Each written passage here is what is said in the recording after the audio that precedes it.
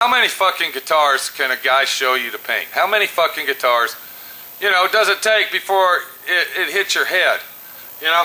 I mean, uh, I, I must have fucking, you know, 30 videos up there, uh, 40 videos of how to paint your fucking guitar, how to relic it out.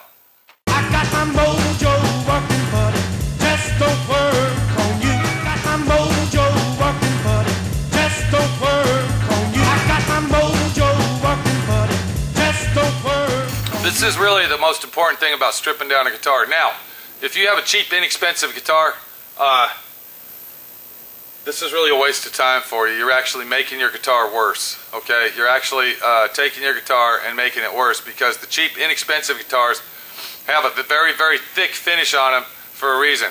It's because the woods that they use and the materials they use are very cheap. So they compensate with a very, very thick finish, okay? Polyurethane finish. So if you have a cheap guitar and you're thinking, oh, I'm going to relic that out or I'm going to paint it, don't do it because you're wasting your time. Unless you want to just do it for practice, okay? Okay, and you can paint over your all your new finish. Just make sure that it's sanded down proper, okay? That uh, to hold the new finish that you're putting on it. But if you plan on stripping your guitar down to bare wood, like you see me doing, make sure it's a top quality, high quality guitar that you're doing it to because you're just wasting your time. Now, back to what I was saying. Uh, what's good about stripping that old uh, urethane, polyurethane finish off of that and that sealer that's on there is you're gonna give it a solid wood uh, sound, okay? And what I mean by that is the tone, the vibration, and the intonation, the the uh, the fucking overall playing of the guitar is going to increase its ability 175% better. Because what you're doing is you're letting the guitar resonate the vibration and bring the real tone out of your guitar, okay? If that makes any sense. Now the way that I'm going to refinish this is basically like they used to do back in uh, the good old days. Whenever the fuck that was in your life, you know what I'm talking about. You know, they say that the lacquer finish is better. They say that, uh, you know, ooh, let's do it this vintage way. They say, okay, Fender's the best guitar. Fuck you, okay? That's what I say. Alright? What I say is, whatever the fuck guitar you like, that's the best guitar. I like Peaveys, okay? I could take this Peavey guitar and put it together and I guarantee fucking to you, it's better than any fucking Telecaster out there on the fucking market today. So we get it all sanded down. And uh, I think I'm talking a little too much tonight. And one more thing, I'm going to have to make a new pick guard for this because this pick guard just ain't cutting it. So we're going to have to go down and get us uh, some pick guard material. Okay, this is uh, just an example now. See, this is a Peavey pick guard, okay? And you see that it fits right in there and it gives a good line all the way around it. And then this is a Fender pick guard, okay? So, there you go. See, that's a Fender pick guard. And you see the difference. You see, it's a lot bigger right in this area here. Okay. Now, uh, the corporation probably did that for a reason. Uh, for spec reasons, okay, and copyright reasons, because they figure, oh, if we make this curve right here a little smaller than theirs, and we come to a point here instead of a big round curve, okay, because you can see, all right, they can't sue us because it's not exactly like their guitar. Okay, think about it. But uh, yeah, we're going to go with the brand new pick guard. And since I'm painting this uh, gold, true gold, I'm going to probably go with a, a white pick guard on it. Okay, but I'm going to go ahead and use the mint green pick guard because that has a more antique vintage look to it. So uh, we'll have to take our tortoiseshell uh, material back. I bought a whole sheet of that crap. I'm going to have to get me some uh, mint green material. And I could actually make this work. All I'd have to do is uh, trim it up a little bit. But uh, the way that all this lines up, I don't think that it would actually work that good. And I believe that this doesn't even fit in there proper. Let me...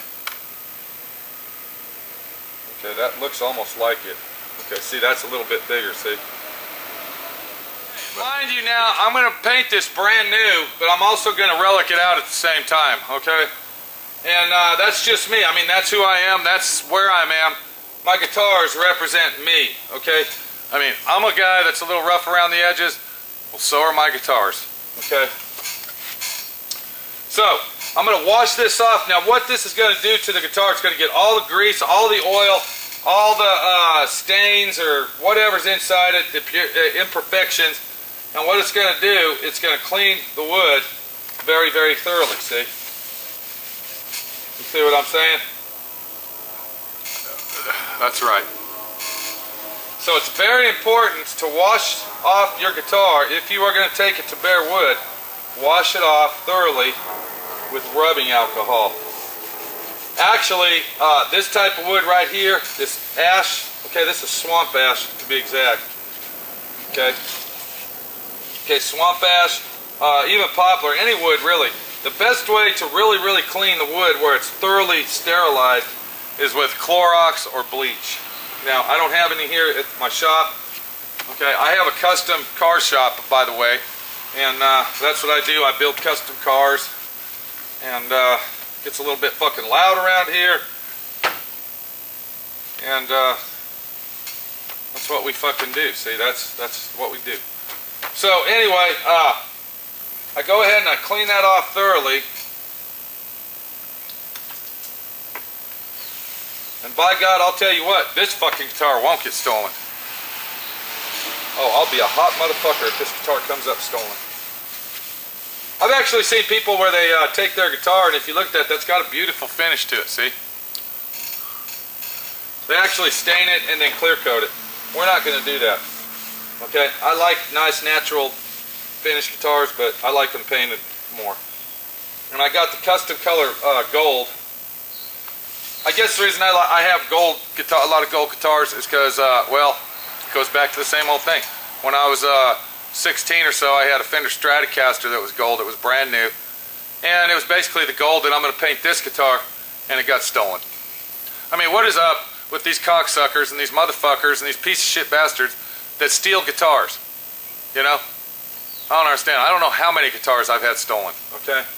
But I'll tell you what, it really fucking chaps your fucking ass when you come home, okay, and you work your fucking ass off for what you got, and some scumbag fucking piece of shit, low-life cocksucker, okay, steals from your house.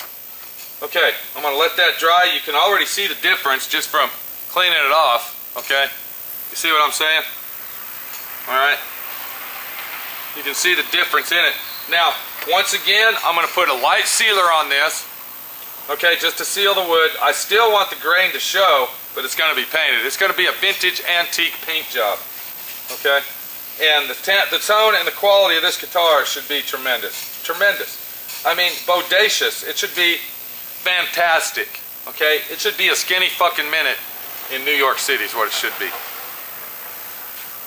you can ever get your hands on one of these at a reasonable price, grab it. It's a Peavey Reactor AX. Okay, even the reactors are fucking amazing guitars. Okay, so I'm going to let that dry and uh, in the paint booth we go, my friend. I'll see you in there. This is Pete. You can fucking do it, buddy. You can fucking do it. Don't tell yourself you can't. Don't tell your wife you can't. Don't tell mommy you can't. Don't tell daddy you can't. Okay, tell yourself you can. It's all about you and the fucking way that you treat yourself that fucking matters.